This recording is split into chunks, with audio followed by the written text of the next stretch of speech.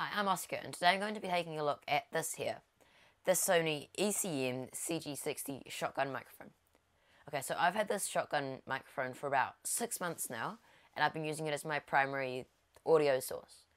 I've done running gun with this, I've done film stuff with this, I've done documentary style stuff with this, although there is a few things that I wish this microphone had, which I'll get into later on in this video. So first off, let's take a look at some of the physical aspects of this microphone. So the build quality is really nice. It's a metal on the outside. It's cold to touch and it feels really premium. And then on the very tip of the microphone, there is a plastic cap. And on the other end of the microphone, there is a um, rubberized um, cable thingy. In the box with this microphone, you'll get the microphone itself, a shock mount, and a dead cat. Now, the dead cat is extremely useful and is really good for wind noise. As I said, I've had it outside in sports games and it's handed hold it up really, really well. Okay, now let's have a look at the shock mount. The shock mount is really nicely designed and fits snugly into the cold shoe, or as it's designed for, the Sony MI shoe. It also has a quarter 20 thread mount on the bottom for attaching thing, it to things like a tripod or a microphone stand. There's a small cable management clip here, and the microphone itself attaches inside the microphone like this, and then it clicks shut like that. Okay, now let's get into the main cons of this microphone. The first thing would have to be its extremely weak signal.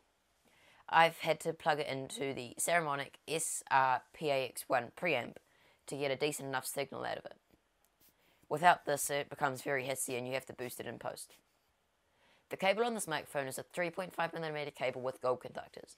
This is a really nice touch for premium quality, but it would be really nice if the cable came out of the microphone instead of being soldered in like this one. Another thing I don't really like about this microphone is the very tip here. I've had the dead cat on sometimes, and then I'll pull the dead cat off, and this little piece of plastic will go with it. Okay, now let's take a look at some of the things that are the reason I got this microphone. So, first off, it has this low cut filter here, which is really helpful for me when I'm filming in big busy locations and I need to cut out all of those low rumbling frequencies.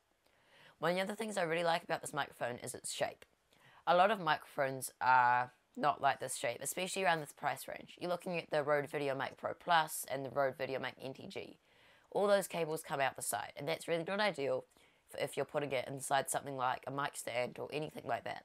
Okay, this microphone comes in around the 400 New Zealand dollar price point, so that's that many US dollars. And considering that it's a Sony microphone and it's got really nice sound quality, I can see how they can put that price tag on it. Although there is a lot of competition in this market, you're looking at the VideoMic NTG and the Rode VideoMic Pro Plus. So I can see why this microphone is not very popular. All things considered, I don't think it's really worth $400. I think it should be more worth about $200 with really nice sound quality, because then it would be more reasonable to buy this microphone and a nice preamp like the Saramonic. Okay, now we've got the physical features of the um, microphone out of the way, let's do some audio tests. Alright, so here is the audio set I've been using to record the entire thingy up until now. Um, as you can see here, I have the shotgun microphone on top, the Saramonic SRPAX1, and then on a tripod. Plugged into the preamp is this Boya BY-MM1 lavalier microphone, which I've been using to record audio for the duration of this video. And then I've also got this microphone here. Okay, now let's switch over to the audio from this microphone here. Okay, so now this is coming straight out of the microphone. So, um, yeah, what do you think? This is about a hand away from my mouth, right back, it'd be about half a meter away, and then we're coming right up really close. So for all these tests, I have, oops, I just knocked it. For all these tests, I have no post-processing done. I do for the rest of the video using this lavalier. I've got a de-esser and a noise removal software running in Final Cut Pro. This microphone here is obviously plugged into the preamp with the gain set at max. On my camera, the gain is set at the first box. Okay, so let's get into the tests. So this is what it sounds like about 25 centimeters away from my mouth. And this is what it sounds like about half a meter away. And this is what it sounds like right up close. Okay, so we'll just keep this microphone on and we'll talk a little bit about the way that this microphone is best used. So the way that this microphone is best used, I find, is up close, like this, talking headshots. I've been using it as a backup mic for this video.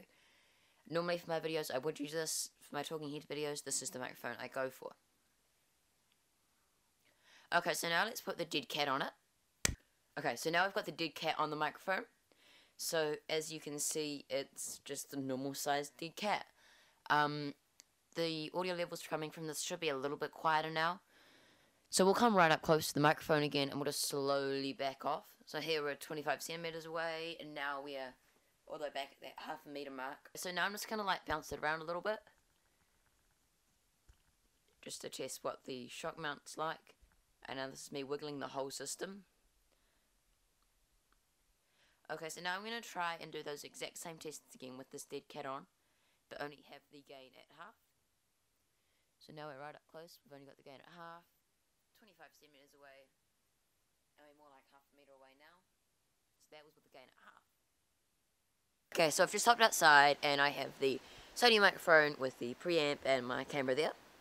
So as you can see, it's pretty windy outside in the trees, so this will be a pretty good test to see what the wind's like with the dead cat.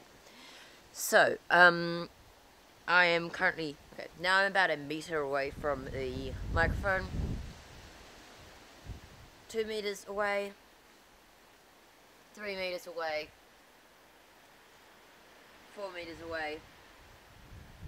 Five meters away. So this is about five meters away from the microphone. I'm talking at a fairly normal level.